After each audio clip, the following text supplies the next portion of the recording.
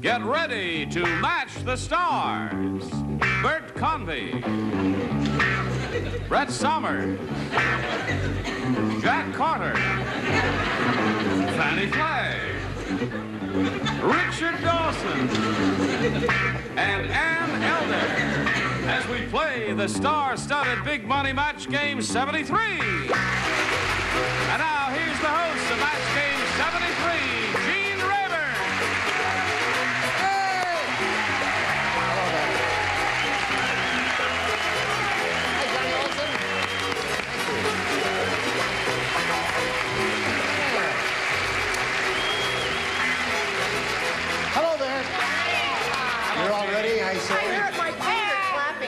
You hurt your finger clapping? I'm sorry. You break a fingernail? Kiss it. That's it's all better now.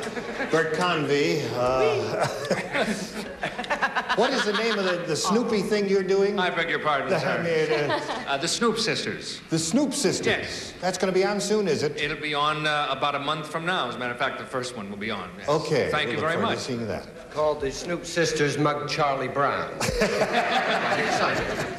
All right. Let's. Uh, we've greeted our celebrities. Now let's greet our two players, Richard Valzing and Nancy Cox. Hi. Nancy's our current champion. She's won one game. She has $600 to her credit, and she was challenged by Richard Valzing, and the game ended in a tie. Uh, Last time we were together, we started the tiebreaker. He answered his half of the round, matched one celebrity, so now you're going to have to answer your end of it there, and you need one to tie and two to win. And We'll find out Very good. Jim. what's going to happen. Yes. Go to a commercial, Jim. All right, let's finish the tiebreaker, which we started last time around. And we have this assignment for Nancy Cox. Listen carefully. You need one to, to go to another tie. Two will win the game. All right, does everybody understand that? you all got it now? Okay, here we go.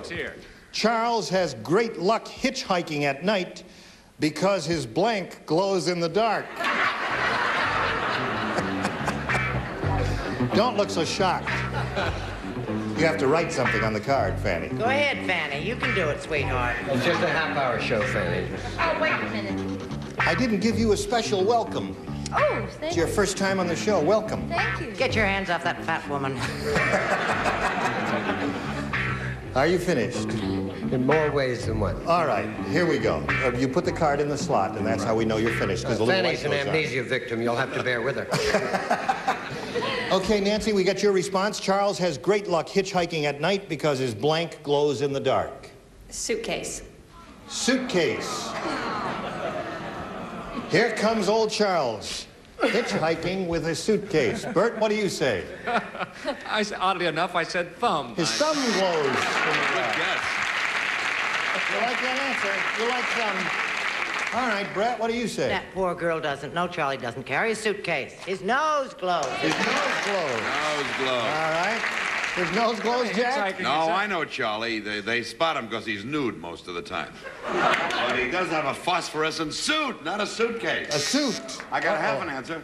Nancy, we're getting down to the wire here. Fannie, what do you say? Well, I agree with Jack. I think he has on a white suit. A suit that glows in the dark. That's a sweet. He can live That's in a that sweet. for the rest of it. Sweet. So he's also works for Beacons. I never wore it. Okay.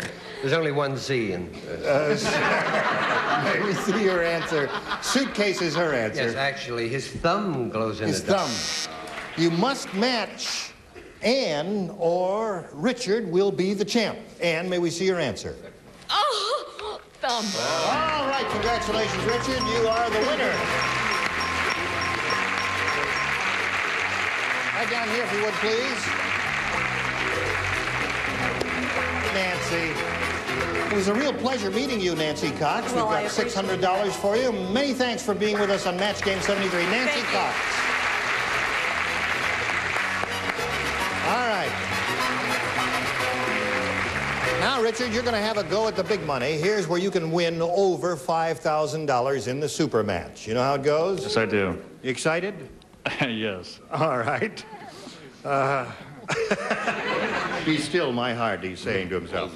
Okay, we polled a recent studio audience, Richard, and we got their best response to this. Box blank. Now, the answer they gave most often is worth $500 to you if you can match it. The second most frequent response, 250. The third, 100. Now, which three celebrities would you like a little help from on this? Uh, Richard Dawson. Box. Box lunch. Box lunch, he says. Okay. There's one answer. Just throw sandwiches, folks. Just throw sandwiches, he says. Uh, Bert Convy. Uh, thank you. I'll say Box Car. Box C-A-R. Okay. One more. Fannie Flagg. Uh, I'll say box top. Box top. You say box top. So you got box lunch, box car, and box top. You may choose one of those or give us one of your own, Richard, but we need an answer now. Uh, box Top. Box top, Fannie Flagg's answer. All right, she's got her fingers crossed for you. That's the answer we're looking for, box top. Let's find out where it is. We're looking for box top. May we see the $100 response? Box lunch is a good answer. All right, that was Richard's answer, wasn't it? Okay, that's very good, Richard. You're in there. Well, thank right, you. Still looking for box top. May we see the $250 response? Box top it is. You've got it. Okay, Richard, you're a winner. Before we go on, let's find out what is under the $500 response. What do you say? Box oh. office. Oh, ho, ho. Did you He have was About so that, sure he was I right. I thought for sure I had it. And He I said, didn't. I'm hot today. You won the $250. that means you're going to play for 10 times that amount now or $2,500. Now, to collect that amount of money, you must match one celebrity on a head-to-head basis, and we ask you now, which celebrity will it be? Who did I match before? It was Fannie. I'll take Fannie Flagg. You'll take Fannie without even looking. Yes, I'll take Fannie Flagg. I'll take it too, and I'm looking.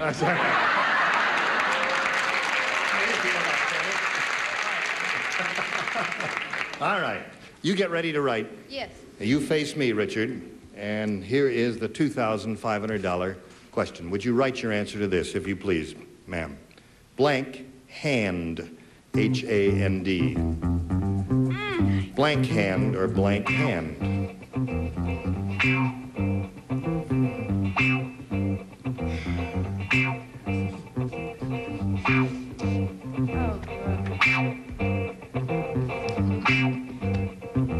We're running out of music. Put it in the slot. Put it in a little slot there. Okay. See, they don't ring the dinger until you put the Oh, the thing in a little slot there, you see. Okay, now Fannie's finished She's her answer, South. Richard. Know. And we call for an answer from you. Blank hand. How do you fill in the blank? Has he died? No, he's breathing. His heart is beating. That's a hard one. Blank hand. Left. Left hand. Oh, Is that a hard one? that's close. All right, that's his answer. Left hand, Fannie, for $2,500. May we see your answer, please? I'm so disappointed because I'm a Democrat and I put right hand. Oh. Right hand I'm so sorry. Oh, Well, right-handed, you're both on the same track there. Well, listen, Richard, you're up to $350. You're still a champ. You're going to meet another player and play another game, and that'll happen right after we hear these messages. Okay, what do you say we say hello to a new player here? Let's welcome Colleen Krantz. Hello, Colleen. You know Richard, don't you? Yes. Okay. You're a very pretty lady, Colleen. You want to tell us a little bit about yourself? Well, I'm a trust accountant at a bank in Century City, and I'm a newlywed of just about 10 months. Oh, we welcome you. Wish you the very best of luck. You know that you and Richard will be answering questions, trying to match our six celebrities, and the one who does that most often at the end of the second round will be the winner and have a chance to go on to the super match where you can win over $5,000. All right, challenger, we ask you to make a selection. A, please. A is what we have for Colleen, and everybody will play, and if you are ready, this is your assignment. Stephanie got blank in her water bed. Stephanie got blank in her water bed. Would you stop jiggling the camera when you're laughing over there, please? Stephanie got blank. Is that, is that, uh, there's not an ED on the end of that, is it? Not on my card, no. Of course there's not an ED on the end of it. Well, it was a very important question. I can't think of a thing. Nobody's ready up there yet. They're all ready down here. We're the best. We best. all have We're the beds. best here. We're the best. Yeah. We're the fastest. Okay, now they're all ready, so let's go over to Colleen Krantz and see how she fills in the blank. Stephanie got blank in her water bed. Wet? Wet. That seems like a logical answer to me. Let's see how logical you are. Story. It's a very logical answer. I said sand. She got sand in her water bed. Yeah. Would you like to tell us how that happened? No, don't bother. Okay. I thought you were going to hit me. Brett, what do you say? She got air. It went like that. Really? Would you tell us water. again how her water bed went? No, I don't want to. No, I'm too okay. embarrassed. I thought my car went What off. did you, what do you She say? told her boyfriend he'd have to file his nails Oh, when he stayed over, so she got holes in her water. Bed. She bed. got holes in her water He bed. dug into the rubber a little bit. Okay, no match there. Stephanie got blank in her water bed. She says wet. What do you say? Well, I, I think I made a mistake. I said she got drowned in her water bed. She got drowned. That's not correct, is it? I'm so sorry. It could happen. It could. It couldn't could happen. Yes. All right, Richard Dawson. Be mine. Well, I'm very pleased with the panel that no one was crass enough to say that she got preggy in her water. Oh, I did not say that. I'm glad no one said that. you rascal. So what I said is she got algae in her ah! water. That's the worst thing that can happen. Hey, Dickie, I know Algie. No, no, no, He no. got no. a preggy. Ann, what do you say? Oh, that was Well, there was a lot of water turbulence in that bed, so unfortunately she got seasick. Uh, seasick is a. Oh, they all like All right. You all right there, Gene? More drinks, Mr. I tripped on my mic cable. Okay, Colleen, you didn't do too well with that, did you? I'm Not sorry too to say. well. Okay, let's see how you do with this. Richard, are you ready? Yes. You never thought you'd be here, did you? No, I didn't. You glad to be here, Richard? Yes. Okay. Changed on that question. What is All right. Bertha was so fat. How fat was she, Gene? I'll tell you how fat Bertha was. They had to use blink to get her through the revolving door. That's how fat Bertha was. Bertha was so fat they had to use blink to get her through the revolving door. I'm glad you're finished. Don't think too hard. He's the strain may be too much, Ann. She was that fat, eh? She was that fat, right? You mean to tell me? And There she is. Ann finally came up with an answer. Let's see what your answer is, Richard. Bertha was so fat they had to use blank to get her through the revolving door. Grease. Grease. Okay. All right, Bert Convy. Well, I'm, I'm in the family. I think I said lard. Would you Lard. offer that? That is a match. All right, Brett. I didn't say lard, and I didn't say oil or grease. I said pushers. Pushers. You know you get that shover. I see. Pushers. Okay. All right. Jack, what did you say? You should see what pushers are selling nowadays. Yeah. Well, I know a Bertha's sister. She's so fat she needs a bookmark to find her chins. but I said that they use. Seriously. They use. That's one of the. It's a Morey Amsterdam safe. She used suction. A lot of Suction. suction. They sucked her through the door. That's right. Okay. Hear you. Aren't you glad you came, Fannie? No. No? Come on now, show us No, it's no, show and I- tell time. I, uh, this man and I are thinking alike. I said axle grease. Grease. Grease. All right, there's another match. Richard. And we depend upon you for a sane gonna answer. Oh, I'm sorry, Richard. Oh, Please, no, no, no. No, no, no. No, I'll do something Well, I'll answer for you then.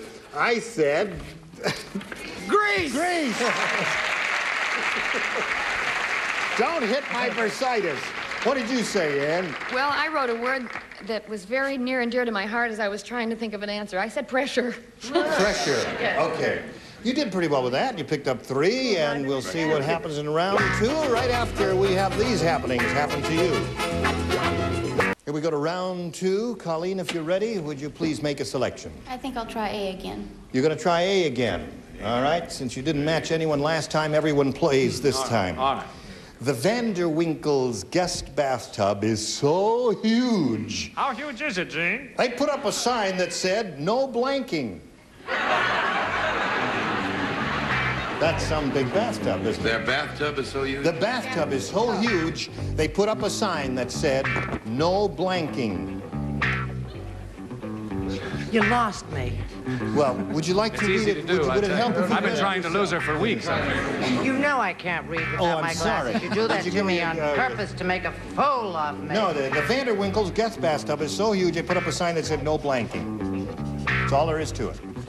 Very simple answer, right, Richard? Right. What happened? I just dozed off for a moment. I, I heard every word. All right, Colleen, we call on you now to give us your response. The bathtub is so huge they put up a sign that said no, Swimming? no swimming. Good, good answer. All right, Bert, what did you say? She said no swimming. Well, she, she was so tentative about it. We'll be affirmative about it. Swimming. Affirmative. Yes. There's Good one for girl. you, Absolutely. Have you got something for Colleen, Brett? You know what? What? I think something's wrong with me. I think I am think the same senile. thing. Isn't that funny? I- I don't know. I didn't even think of swimming. I said no vacancies. I don't know. Oh, Bathtub was so... well, you know. Let's just say you drew a blank on that. That's all right. Jack I'm so Carter. upset I may tell my real age. That's upset. Get let sympathy. you. Oh, you, you don't want to upset the rest of us, do you? Oh, let me go. Give me a break. Yeah, go ahead, Jack. Uh, I I couldn't think of anything either. You couldn't. But I thought uh, I figured no swimming. I figured we'd have no drowning. No drowning. All right, she said no swimming. Let's see what you said, I'm Fannie. confused. I thought this was password. And I said no diving. No diving? All right. Now, let me see what's going on here. Oh, you've got to match the two remaining celebrities to uh, stay in the game. Let's see if it happens. Well, that's Swimming a is the well-known answer saying, looking is for. it? Never drink when you're diving. But I said swimming. So you got one, Colleen. You need another one, Ann. Oh, the pressure's really on, isn't it? Yes, it is. Yeah, I'm cooking up here. Swimming. Okay. Now, Richard, it's tie at this moment. You've got to complete your end of the round. One match will win the game. Here we go. The farmer said, I can't wait to hear this one. I've got a real problem. And the cow wasn't home either. One of my cows has fallen in love with blank. Mother Goose. I don't know. The farmer said, I've got a real problem. One of my cows has fallen in love with blank. Now, I was going to last say time Paul out, Lynn. Richard, you matched uh, Fannie, Richard, and Bert, so the three of you will not participate. The farmer said this. Farmer said this, I've got a real problem. One of my cows has fallen in love with.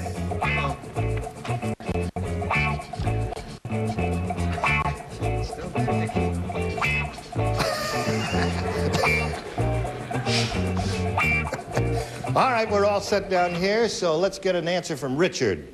I've got a real problem. One of my cows has fallen in love with. Me. With me. The audience thinks you're going to score with that, Richard. All you need is one to win the game. Brett. Well, let's face it, it's not me, sweetheart. My son. Fall, the cow's fallen in love with my son. I figured he did the milking. Oh, yes, of course. Naturally. And he had soft hands. Yeah. Chores and all touch. that. Jack? Wasn't a Jewish cow, was it? I don't think know. so. Instead of moo, it went new, wasn't it?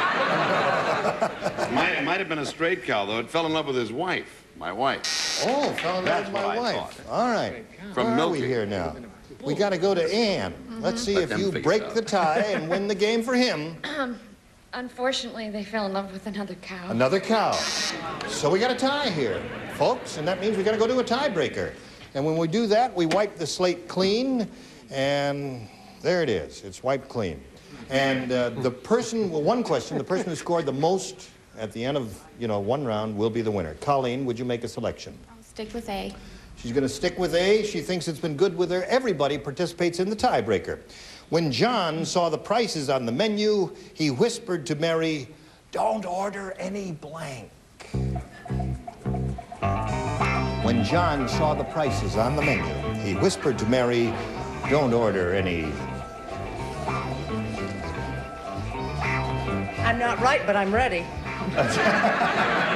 Well, I'm happy. I need to be ready. Okay, they're all set. So, Colleen, we call for your response. He whispered to Mary, Don't order any Meat. Meat is her answer. Meat is very expensive these days. Bert, what did you say? Uh, certainly in that family, I said steak, which is usually the most expensive thing. Okay, that's a match. To win. They say that's a match. Brett? Yes. I'm too embarrassed. I can't go on like this. Why? He said, don't order anything. Anything. Or anything, yeah. I've never tasted thing. huh? Yeah, I've never Just do it yourself. Jack, I went to the end of the menu. Don't touch the dessert. no desserts there. All right, she's scored one so far, Fannie. Well, I agreed with my idol, Brett, and I said don't order any food. Okay, just sit there. Oh, thank you, All sweetheart. right. Richard? Don't give Brett anything sharp. Steak. All right, there's another match. We're up to two now, Colleen and Ann. And how about right on meat? There it is. Okay. So you've scored three times, and we're going to have to get to you, but first we've got to get to this, and then you come back right after you hear this message. Well, we've run out of time. I'm sorry to have to stop here, but we've got to do it, and we'll see what happens with this tiebreaker next time. Thank you. Oh. Thank you, celebrities. Join us next time for Match Game 73. Bye. What can a hundred grand buy? A sports car, four years of college, or a seat at this table. $100,000 of your own money is the buy into the most exclusive poker game in the world. With players like Doyle Brunson, Barry Greenstein, Daniel Negreanu, and Sam Farha, anything can happen. I'm all in. It all. I'm all out. Millions are on the table in the first televised cash game of its kind. High stakes poker, next Monday night at 9, only on GSN. You got to gamble to win.